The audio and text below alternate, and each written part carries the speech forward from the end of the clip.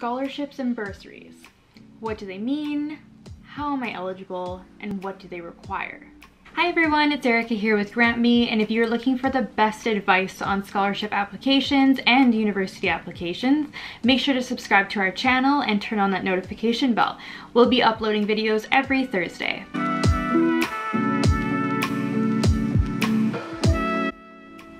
Look, I get it. When Even when I was in university, I had no idea what the difference between a scholarship and a bursary was. But I'm here today to let you know what you should be looking at when you are applying. Okay, so what do these terms actually mean? A scholarship is a payment made to a student who needs help in affording their education and scholarship awards are based off on merit. So you have to meet a certain criteria in order to apply to these scholarships. So each application is different. Uh, they'll look at your grades, your athletics, um, whether you are a leader in your community, how much volunteer work that you've done. Most scholarships are based on if you fit that criteria. For example, here we have the TD scholarship. So we're looking at what the requirements are and who's eligible for it.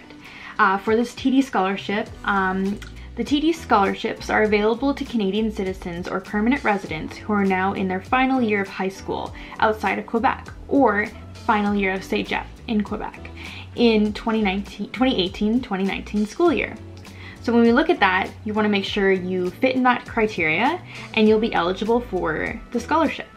So when we look at the Trevor Linden Community Spirit Scholarship, um, they want, they rec sorry, they recognize four student leaders in the province of British Columbia who are entering their first year of post-secondary education um, and are in good academic standing and have made exceptional contributions in the following areas. School and community service, leadership, initiating community development, affecting positive change, mentoring others, personal development and growth, and good academic performance. So when you're writing this scholarship paper, you want to base it around community service um, and how you're a leader. And through that, you'll be mentoring others and affecting positive change. Alongside that as well is make sure that you have a good academic performance. Typically, scholarships are looking at about the 80% range uh, for your GPA.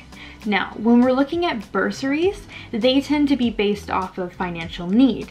So people who simply can't afford going to school uh, can apply for a bursary, um, which is most of us.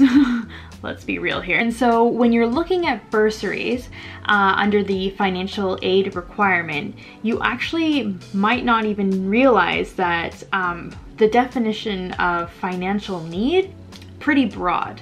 Uh, when you're looking at different applications, uh, you want to really look at what they're asking for when they ask you to describe your financial need. Um, such as parents, in, they might ask you for your parents' income, uh, creating a budget worksheet, or simply just a paragraph explaining how you are in financial need. Now, let's take a look at this application for a bursary.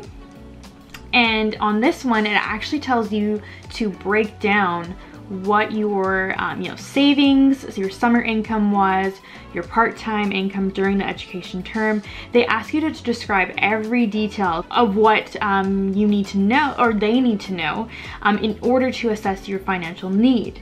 Um, then you're also going to put your costs in there for tuition uh, your books your room and board transportation and then miscellaneous. So they want you want to give them a broad understanding of what you have and what you need and um, they'll be able to better assess your financial needs. So that's one way of describing what financial need looks like on a bursary application.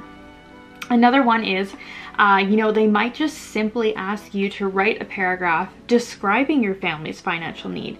It could be in approximately 250 words and you just telling them, look, um, you know, my family um, went through some hardship last year and it really affected us financially um, because of X, Y, and Z. Um, just explain to them what the financial adversity is and how that affected you. It truly matters when you're authentic with the scholarship committee and um, it increases your chances of winning when you can really get down to the truth of things. Lastly, the biggest takeaway that I want you to have from this video is understanding that scholarships and bursaries, the names of them, are used quite interchangeably between foundations, businesses, and schools. They don't even know themselves what the proper definitions are, so here is what you need to know. As long as you meet the requirements of what they're asking, go for it. Apply for it. It's this, this is free money that you don't have to pay back and we all could use a little bit of that for sure. so I want you guys to comment below if you've ever been confused about the scholarship application process and what these terms mean. Because um, I've certainly had when I was in university, which prevented me from a lot of opportunities that I could have been a part of. So comment down below and let me know have you ever struggled with the scholarship application before? Have you ever struggled with knowing what the terms mean? Um, I really hope that this video has helped you and understanding that as long as you're eligible, go for it and apply. Thanks again everyone for tuning in. My name is Erica and I'm here with GrantMe. We upload videos every Thursday, so make sure you turn on the notification bell to be notified and uh, to get the latest information on scholarships and university applications. Thanks so much for tuning in.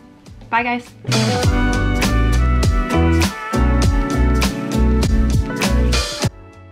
Need extra help with scholarships? Not sure where to find them?